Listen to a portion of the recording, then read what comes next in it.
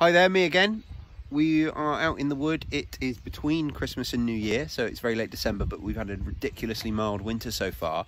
It's uh, 2019, and we've just come out for a walk with my boys, and it has been phenomenally wet for several months, and we've just come across this yellow brain fungus.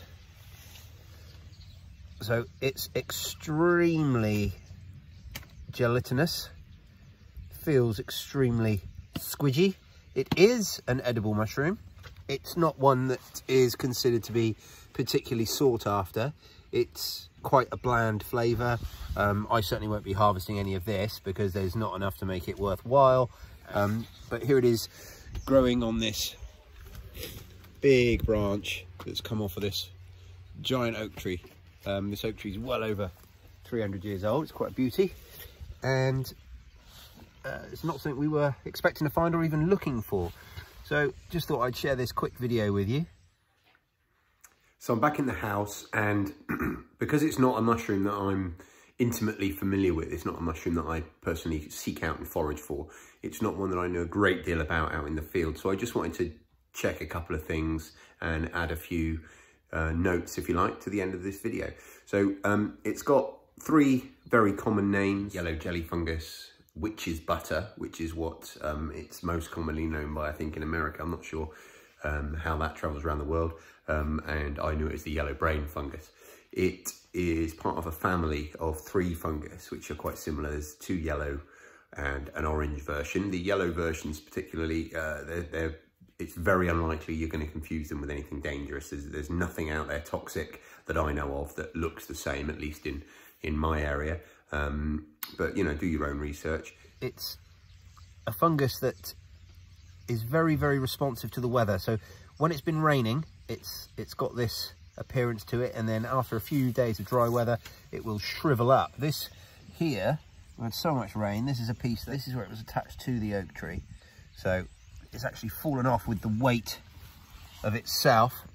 Um, and it will shrivel up this piece and if we get a long enough dry spell and then it will come back. The main reason that people don't eat it is a perfectly edible mushroom, there's nothing wrong with it, is it just, it doesn't have much flavour. Um, so it's much like the, uh, the jelly ears or the Jew's ears that I've done videos on that grow on elder, um, but it doesn't have that texture that those mushrooms have. It's quite a, uh, a mushy mushroom.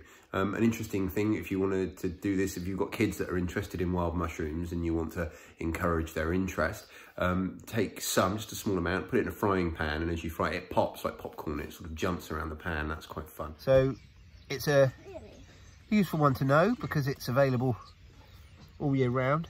Um, so the other thing I wanted to mention is that it grows all year round. It can pop out anytime. Um, mainly after some heavy rain. And like I say, we've been inundated with rain here. So I will go back to that, uh, that tree uh, the next time we get some heavy rain and I expect to see a bigger bloom. I imagine it will grow on for quite some time there.